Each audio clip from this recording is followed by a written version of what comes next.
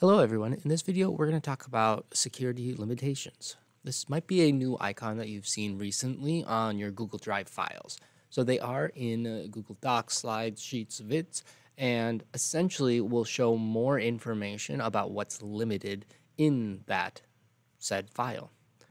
So if you haven't seen that, it might be that you haven't had something shared to you you might have some users that say they see this kind of like new icon on their drive. And that's a recent change that Google has made, really just to show a little bit more clarity of each file. Now, the limitations in these would be something like download, copy, print, email. Those are disabled in that file, or the sharing's limited. So these are based off of either the person who uses that file or is in charge of it, or if there is an external like organizational setting that's on it as well. And really this only affects those that you are sharing this to, but I'm going to just go ahead and show what it looks like. My personal guess is that there's going to be more limitations that Google will be putting out later, and that's why they kind of switch this screen. And before, you could still do these things. It's just those icons would be grayed out, like you couldn't print, and maybe you didn't know why. And this just gives a little bit more information or a warning to users, like there is some different settings on this. And then you can click the icon and then see. In this example, I have this spreadsheet. I just used some import XML and then HTML just to pull these from the website. Really not needed, but I wanted to have something on this. So this is my account and I have it. I have not shared it with anyone. It's private right now. If you go to another account, you'll have to say you need access. This is normal. So I'm just going to go ahead and switch it to then anyone with a link is a viewer.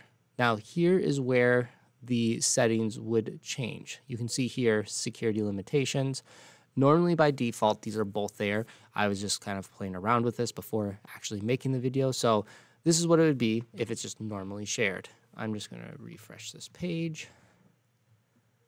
And there we are. This is honestly the normal view that's there. You can see here that there's a print icon and things.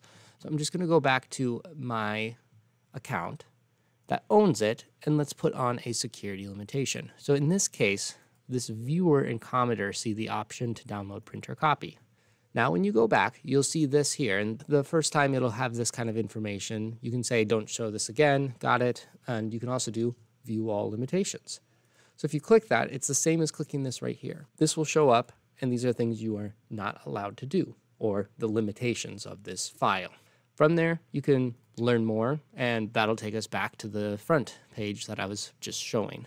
In any case, this is that icon that I was talking about. So if you have users saying, hey, I see this shield with the magnifying glass, now you kind of know more, and that's because there's some limitations. Really, it's just that. You can't customize and say, well, I don't want them to print, but it's okay for them to make a copy.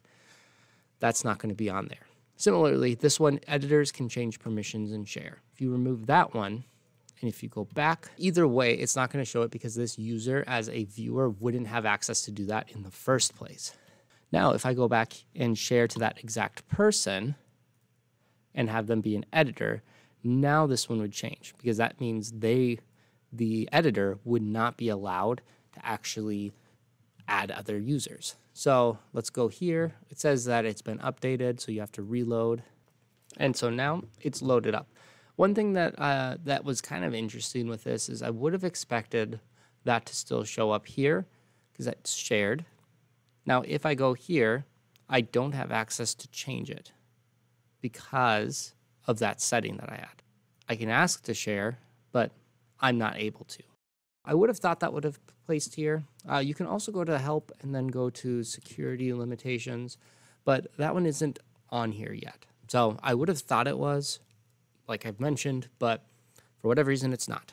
That said, it still applies to it. And my guess is either that or other restrictions are coming in the future. Anyway, hopefully you find that helpful. Hopefully you are able to answer any questions if someone comes up to you and says, "Hey, I see this new icon. What does that mean?" Or there I have security limitations. Why? I think it's a little more of a step in the direction to be a little more transparent in those documents and also I'm hoping more customization to keep your documents a little bit more secure with that. hopefully you find this helpful. We'll see you in the next video. Bye now.